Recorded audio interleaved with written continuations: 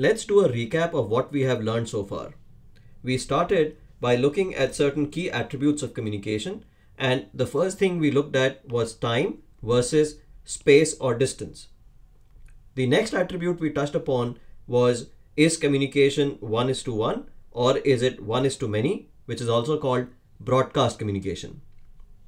Then we looked at the accuracy versus the efficiency of communication. And here we looked at the idea of disambiguation. When you have to convey the word sun to make sure that SUN doesn't get conveyed as SON, you add certain extra information to what you're communicating. For example, sun that shines in the sky. Now this extra addition of information makes the communication slightly inefficient because you are transmitting more information but we are okay with this inefficiency because this inefficiency leads to accuracy. And this idea of disambiguation also exists in digital communication when we add certain extra bits to make sure that as our communication hops across the internet, it doesn't lose the accuracy. The next attribute of communication we looked at is the communication lean forward mode or is it a lean back mode like when you're watching television or cinema? Lean forward mode means that your communication is very engaging and it is keeping the uh, user actively engaged with whatever it is that you are communicating.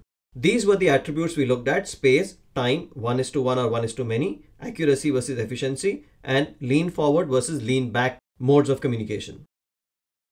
Then we looked at evolution of communication and here we started with language and we said that the human capacity to convey abstract thoughts was something that set our species apart from all other species. This was followed by writing, which means that you can codify knowledge and hence you can preserve it or, or keep it accurate across distance and across time. Then the advent of printing press meant mass production of information and dissemination across time and space without losing accuracy. Electricity led to the invention of telegraph, which meant instantaneous communication, but this was one-way communication. Then came telephone, which was also instantaneous communication, but this was instantaneous two-way communication, but still it was one is to one communication. Radio led to broadcast of audio communication, and then this was followed by television, which meant you could do a broadcast of not only sound, but also images, video, etc. Essentially audio video communication. Finally, we looked at internet and internet is very unique because it combines the attributes of many other earlier forms of communication. For example, you can do instant communication across distance. It can be one is to one communication or it can be one is to many communication. Because communication is digital, it can be replicated millions of times without any loss of accuracy. Communication can also be archived and hence it can be used across time. Internet allows multimedia communication. Whatever be the form of media, text or sound or images or video, it can all be communicated over the internet. Finally, we looked at emerging aspects of communication which is augmented reality and virtual reality. We then turned our attention to looking at attributes of communication and how they apply to website design. And in this, the first thing we looked at was synchronous versus asynchronous communication. Synchronous communication means that the communication is produced and consumed at the same time. For example, a live telecast of the school annual day that you are having on YouTube Live or Facebook Live. As against this, asynchronous communication means that it is produced in time zero, but it can be consumed at any time. For example, I am recording this video on 29th of October 2018 in sitting here in London and you are of course consuming it much later. This is asynchronous communication. Then we looked at is the information being pushed out or are you drawing the audience towards the information? For example, your website is online and you pull the audience to your website, whereas you could have an email newsletter and the email newsletter is information that you are pushing to your audience. Then we looked at static versus dynamic information. information that does not change that frequently is called static information. And in the context of your school's website, this information could be, for example, the location of your school, history, awards the school has won, etc. And dynamic information is information that changes frequently. For example, in the context of the school website, information about some events in your school, which may happen daily, weekly, monthly, etc. That information, which is changing frequently, is called dynamic information. So your school website could be what we call a static website.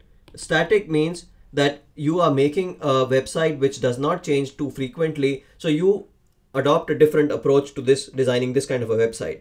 And as an analogy, this is like saying you had a flyer or a brochure of your school and you digitize that flyer or brochure and you put it online. It remains pretty much static and doesn't change too often. Then you have created a static website. As against this, you could also create a very dynamic website. A dynamic website, for example, could be news about your school. In, in a dynamic website, what happens is that you design a front end template. So you say for your weekly news, you will have a photograph or an image, you will have some uh, big description and then some other text and old information will get archived. This is the front end template and mapping to this is a backend database with various tables. And for example, there will be a table which will talk about the image and the link and the news the text that you will be giving in every piece of news. And, and the way you uh, create a dynamic website is that you create the front end template one time and then on a weekly or, or whatever is the frequency, you keep updating the, uh, the backend database and it automatically gets displayed in the front end. The next thing we looked at was what is called user experience. And what we mean by user experience is that when a viewer comes on your website, what kind of an experience that that user have is it a very elegant uh, interesting experience engaging experience or is the website very cluttered and you know it's difficult to find information? And we said we will design website which is elegant effective and engaging. And to make it engaging we will use images we will use videos and of course we will have text description etc then we looked at another aspect which is called universal accessibility. And universal accessibility means that any information that you provide on your website is equally accessible to people with disabilities. For example, if you have a person who is visually disabled visiting your website and this person cannot see any image that you have put or any visual element that you have put on your website, then for that visual element, you have to put what is called an alternate textual description. This alt text description resides in the backend. It is not something that any uh, regular viewer can view. Instead, it's in the backend. And when a person who is visually disabled and is using what is called a text to speech engine uh, visits your website, that text to speech engine reads the alternate text description to the visually disabled user and they will have equal access as a sighted user. We then looked at the overview of the website design process and we said the website design process starts by defining the purpose of your website. Once you have defined the purpose, you defined who are the target audience for your website. For example, in our case, we said for our school website, the target audience could be parents, could be students, and could be teachers. Then we brainstormed further and we said that parents could have further subcategories. For example, current parents versus prospective parents. Students could be current, former, or prospective. And teachers could be current teachers, prospective teachers, maybe guest teachers, and maybe volunteer teachers. And then we came to the most important aspect. We said that communication is all about your ability to put yourself in the shoes of your target audience and to figure out what are their information needs and then to present that information in a elegant engaging manner. This is called needs analysis and we said for example for prospective parents category of uh, subcategory of target audience their information needs could be that they want to learn more about the facilities and activities in the school achievements past results fees location transport how caring safe and secure is the school environment testimonials and so forth. And for a prospective teacher information need could be is there a vacancy in the school? What are the salary and perks? What are training opportunities? What are the working hours Essentially, what we are saying is that in the website for different target audience, we will provide the information that we think our target audience needs. Having done the audience definition and needs analysis, we then create a schematic of the flow of information on your website, which is called the sitemap.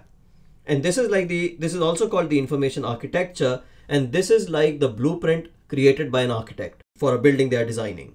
In our case, we said, uh, we created a very simple schematic of uh, or sitemap for our website. We said there will be a home page and it could either just be a single page scroll down website and information for parents, teachers and students could be on that same page or we could do a multiple page website and there, there will be a landing page or a home page and then there will be different pages for parents, teachers and students where we will provide the information that we defined in the needs analysis.